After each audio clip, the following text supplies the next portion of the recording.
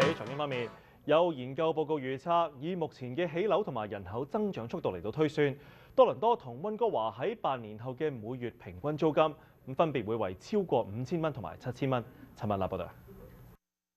魁省協和大學商學院助理教授動用人工智能嘅機器學習技術，以現時嘅起樓速度同移民及人口增長速度計算，預測全國兩房拍文單位租金水平將會持續大幅上升。其中多倫多嘅租金由舊年大約三千二百五十蚊，預測將會升至五千六百蚊。溫哥華就由舊年大約三千四百五十蚊，推算更會升至七千七百五十蚊。撰寫報告嘅學者認為，新屋動工量需要比目前多至少六倍，形容現時任何一級政府都無法獨自承擔呢個建屋量。必須借助資本市場同大型發展商嘅力量推動。報告又認為，目前嘅住宅空置率太低，而且每年嘅落成庫存量需要達到百分之十一至十二，先至能夠拉低租金水平。以多倫多為例，舊年嘅落成庫存量只有百分之一點一，